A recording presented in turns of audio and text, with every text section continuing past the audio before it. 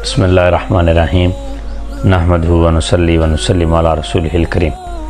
हज़रत अबू ज़र गफ़ारी रज़ी हो इस्लाम की तारीख़ के एक अज़ीम बाब, एक बहुत ही अहम पहलू अकलसलाम की बहुत ही दरीना दोस्त अकलसलाम से बहुत ही ज़्यादा मोहब्बत फरमाने वाले और जहद कनात में आपका कोई सानी ना था। हज़रत अबू ज़र गफ़ारी का असल नाम जुंदम बिन जनादा था, लेकिन कुनीत आपकी अबू ज़र के नाम से उस वक़्त मशहूर हुई और इसी नाम से ज़्यादातर लोग आपकी तारीख़ को जानते हैं। हज़रत अबू ज़र गफ़ारी बेसिक आप बनी गफ़ार से थे, जो कि मदीना और मक्का से थोड़ा दूर है, और आप ने जब अकल के बारे में सुना तो आपने अपने एक भाई को रवाना किया कि वो जाके पता करे और अकलसलाम के सिफ़ात हैं, जो अकलसलाम के औसाफ हैं, वो आपको पता चल पाएँ। आपके भाई ने भी आकर जब आपको बताया कि इस तरह एक शख्स ने इस्लाम की तालीमत का ज़िक्र किया है और ज़्यादातर लोग उसके मुखालफ हैं। तो हज़रत अबू ज़र गफ़ारी रज़ी ने ख़ुद रखते सफ़र बांदा और मक्का की तरफ़ तशरीफ़ लाए। लेकिन वहाँ उनके साथ एक ऐसी ट्रेजडी हुई जिसने उनको थोड़ा डरा दिया कि उन्होंने आते साथ ही एक शख्स से पूछा कि मोहम्मद बिन अब्दुल्ला जो जिन्होंने नबूत का दावा फरमाया है, मैं उनसे मिलना चाहता हूँ। तो उस शख्स ने मक्के के बाद शरीर और दूसरे सरदारों को बुलाया और उन्हें बताया कि इस तरह ये शख्स हज़रत मोहम्मद सल्लल्लाहु अलैहि वसल्लम का पूछ रहा है तो आपको बहुत ही ज़्यादा जर्दोकोप किया गया, आपको मारा गया।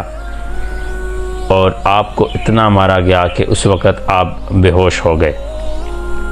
जब आपको होश आया तो आप खाना काबा के अंदर ही मौजूद थे। आप उस लिहाज से डर गए और आपने फिर उसके बाद किसी से अकलतम के साथ मुलाकात का ज़िक्र नहीं किया।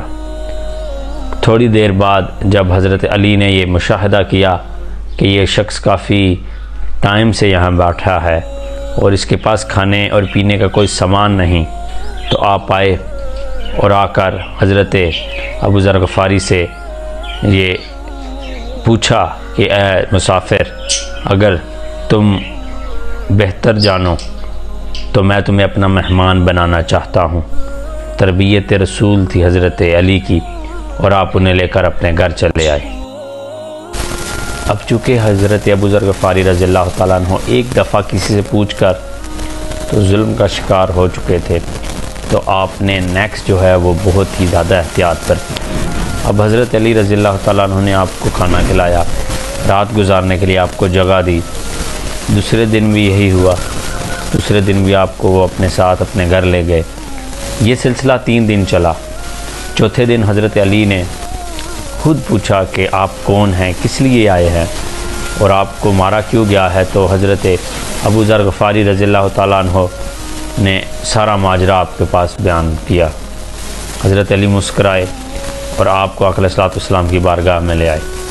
बहुत ही एक शॉर्ट टाइम में आपने दावत दीन हक जो है उसे कबूल किया और आपने कलम शहादत बुलंद किया। उसके बाद अकल अकलतम ने आपको ये इरशाद फरमाया कि चूँकि आप दूसरे कबीले से हैं तो बेहतरी इसी में है कि आप यहाँ से चले जाएँ और जब इस्लाम पावरफुल हो तो आप दोबारा आ जाएँ। और किसी से इस बात का ज़िक्र ना करें, लेकिन आपने अकलतम से ये इर्शाद फरम, अर्ज़ की, या रसूल वसल्लम, चूँकि मैं अब ईमान ला चुका हूँ तो मैं इस बात का ज़िक्र सबके सामने करूँगा। और आप फिर काबा में तशरीफ़ लाए और वहाँ आकर जो मशरकिन थे उनके सामने आपने अपने इस्लाम लाने का ज़िक्र किया, आपने कलमा शहादत बुलंद किया तो आपको फिर से मारा गया। और आपके पास खाने को तब कुछ नहीं होता था। तकरीबन पंद्रह दिन और पंद्रह रातें आपने सिर्फ़ आब जमज़म पर गुजारा किया। आपके खाने पीने दोनों का जो बंदोबस्त था वो आब जमज़म के थ्रू ही था। जिसकी वजह से आप में मज़ीद तकवीत आई।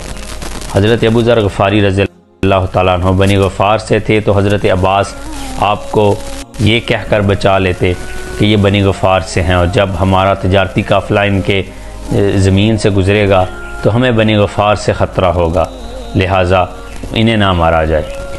हज़रत अबू ज़र गफ़ारी रज़ी तह उसके बाद बनी गफ़ार में चले गए, और जब हंदक का मैदान लगा, उसके बाद आप मदीना मनवरा में तशरीफ़ लाए। और आकल सलाम के जो मुलाजमीन थे, जो आकल सलाम के पर्सनल काम करते थे, आप उनमें शामिल हुए। आकल सलाम ने आपसे बहुत ज़्यादा मोहब्बत फरमाई। जब भी आकल सलाम किसी सफ़र से वापस आते तो सबसे पहले हज़रत अबू ज़र गफ़ारी रज़ी तु आपके बारे में पूछा करते थे। ये शान थी आपकी उस वक़्त।